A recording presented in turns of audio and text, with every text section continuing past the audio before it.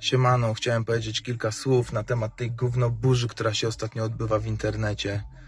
Naprawdę, przysięgam, nie chciałem brać w tym udziału, ale po prostu jest to dla mnie tak żenujące, tak słabe. Sobuś, co ty odpierdalasz, człowieku? Zejdź ty na ziemię. Stary, jeżeli masz akt oskarżenia, w którym pisze, że jesteś do sprawy z tym, z tym, z tym i z tamtym, z pomówienia tego i tamtego, jakie samoukaranie? Człowieku, przecież my cię nie będziemy uczyć zachowania. Ty już masz swoje lata. Dawno powinieneś to wiedzieć. Dojebałeś do pieca, a teraz odwracasz kota ogonem i z dobrych chłopaków robisz gamoni. Człowieku, zejdź ty do tej piwnicy i zostań na tej kwarantannie do końca życia, bo tutaj dla takich jak ty to nie ma miejsca. Żenada. Naprawdę. Słabo.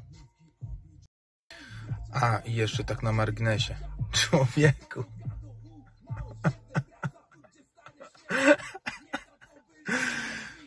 Stary.